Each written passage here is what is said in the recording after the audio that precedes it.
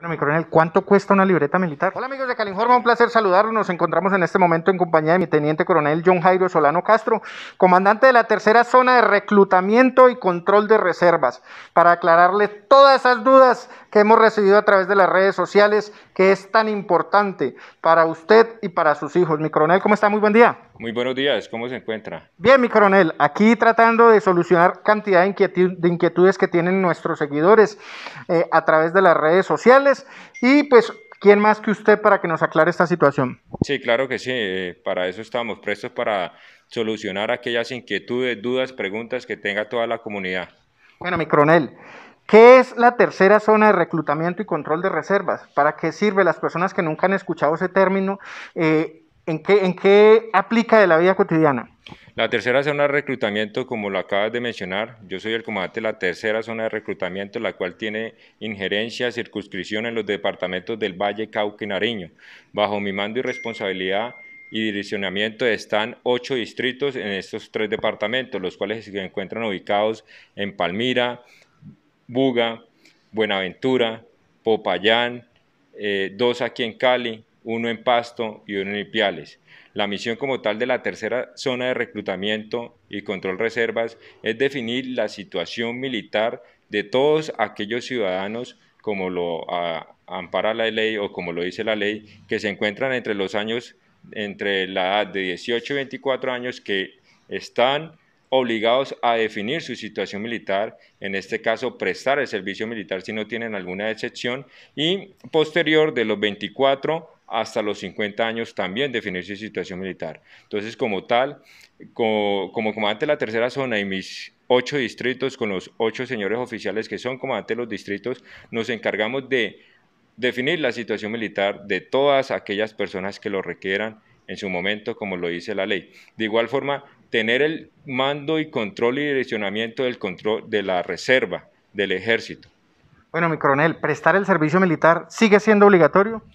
Eh, prestar el servicio militar efectivamente es obligatorio, como lo dice en la ley 1861, entre la edad de 18 y 24 años, si no tiene una excepción de ley, como cuáles, le menciono unas, ser hijo único, ser padre, tener un hijo, tener alguna discapacidad, o en este caso estar cursando estudios universitarios, profesionales, no está obligado a prestar servicio militar, pero sí a definir su situación militar, iniciar el trámite del proceso y se le daría una tarjeta militar provisional mientras ese joven está cursando sus estudios universitarios.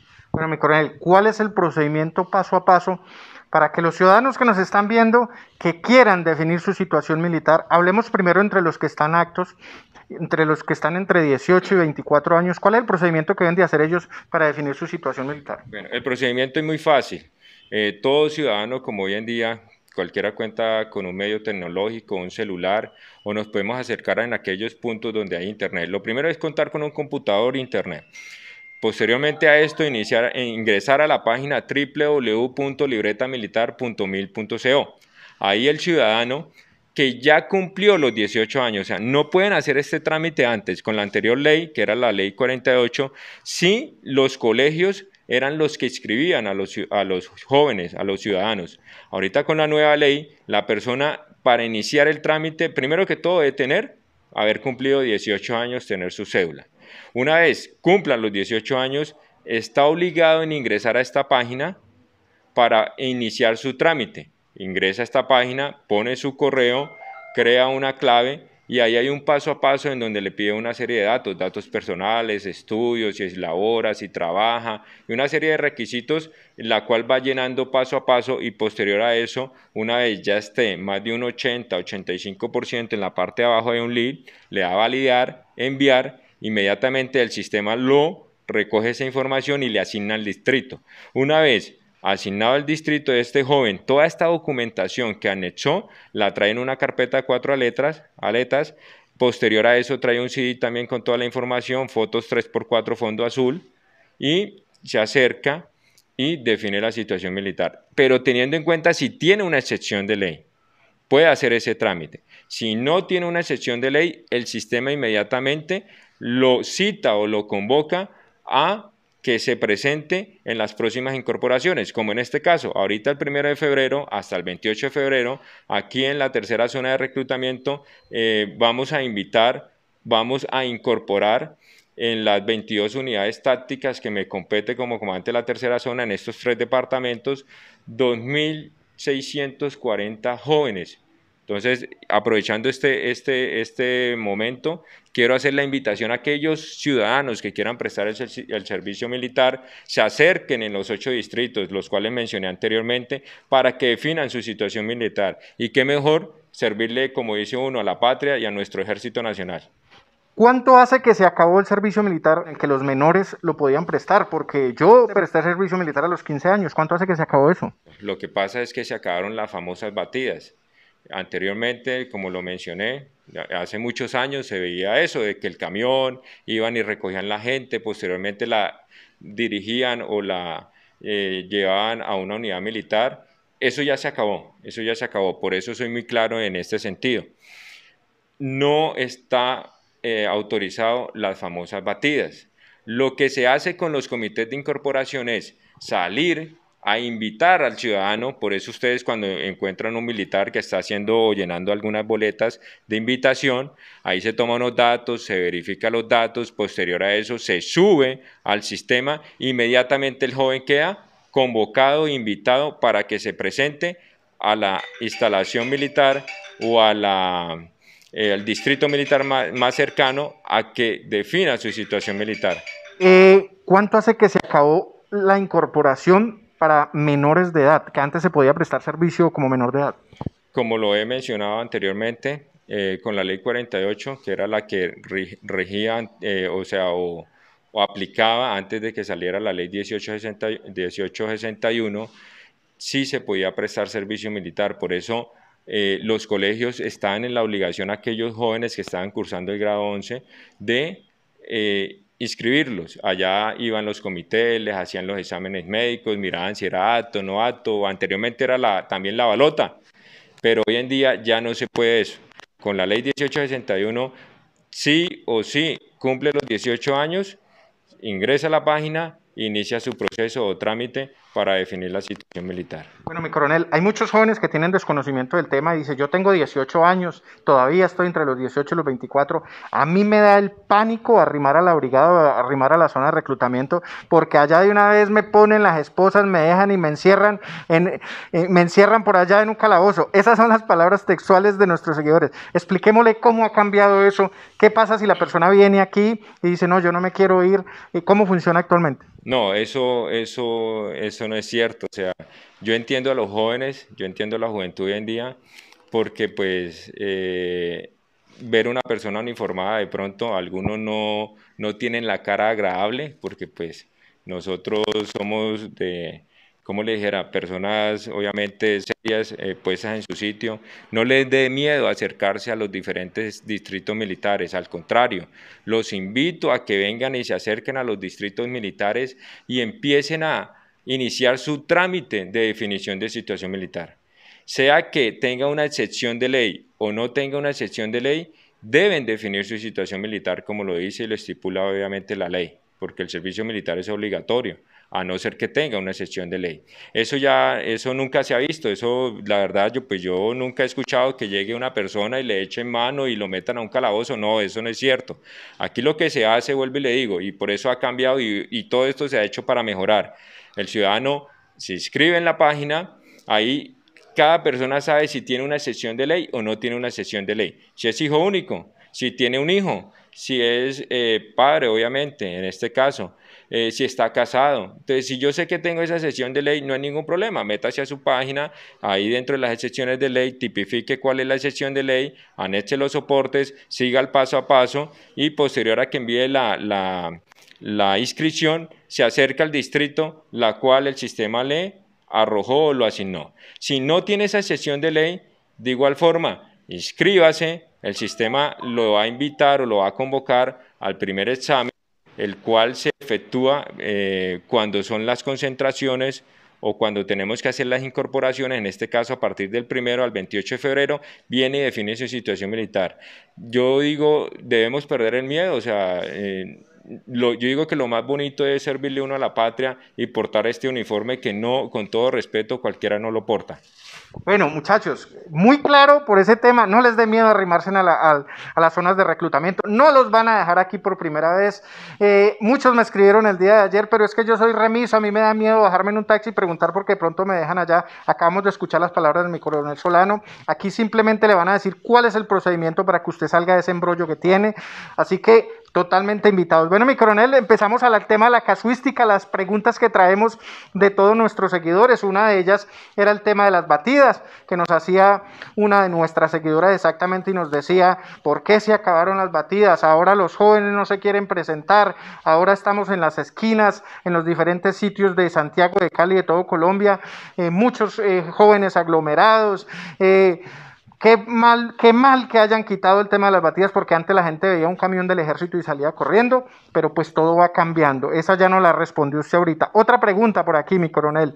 Dice, mi hijo tiene 19 años, tiene una enfermedad huérfana. ¿Cómo hacemos para sacar la libreta militar? Bueno, en el caso de ese joven que tiene 19 años, está dentro del parámetro para prestar el servicio militar que es de 18 a 24 años. Pero como tiene una excepción, como lo ampara la ley, entonces ese joven debe hacer su trámite normal, inscribirse a la plataforma www.libretamilitar.mil.co, iniciar el paso a paso y poner la excepción ahí que aparece, que es una enfermedad anexar todos los soportes escaneados, subirlos en la plataforma, posterior a eso, cuando ya tenga toda la información, le va a validar enviar, le asigna al distrito y él se puede acercar al distrito que fue asignado con toda la documentación soporte. Nosotros aquí contamos con unos comités de actitud psicofísica que son un médico, un psicólogo y un odontólogo. En este caso, como el joven presenta es una enfermedad, eh, como usted me lo acaba de mencionar, el médico coge la historia, obviamente que sea vigente, le hace un estudio, le hace una valoración, él determina y da un concepto, lo sube al sistema y a este joven se le puede ya liquidar y darle una definitiva porque tiene una excepción. A pesar de que tiene 19 años y puede prestar el servicio militar, pero como tiene una excepción, entonces se le da a él sí la libreta o la tarjeta militar definitiva. Si, si tiene SISBEN, le aplica SISBEN, se liquida por SISBEN y si no tiene SISBEN, se liquida con cuota de compensación militar, que son otros requisitos pues que ya se los pide el comandante de distrito para poder hacer la liquidación. Bueno, mi coronel, ¿cuánto cuesta una libreta militar? La libreta militar, eh, hay dos pagos como tal. Uno que es el decreto, que es el 15% del salario mínimo legal vigente, en este caso son 136 mil pesos, que práctica, práctica, prácticamente sería el, el ¿cómo le dijera? El, el PVC o la lámina, que es que es la libreta como tal o la tarjeta. Y lo otro es la cuota de compensación militar. Aquellas personas que tienen CISBEN eh, inferior a 6.9 lo liquidan con Sisben y no les sale tan costosa. O sea, yo no me voy a poner a decir ahorita precios porque obviamente eso, toda esa información se incluye en el sistema cuando viene aquí a liquidarlo el comandante de distrito y eso arroja, pero créame que no le sale, no le sale costosa.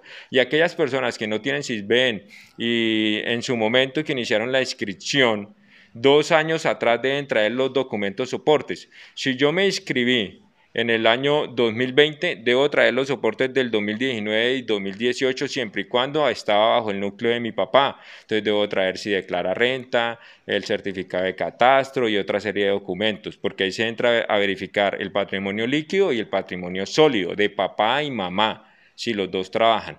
Si yo me inscribí en el 2020 y en ese momento yo me inscribo como independiente, debo traer los soportes del 2019 y 2018 de que yo estoy aportando al sistema de salud y pensión.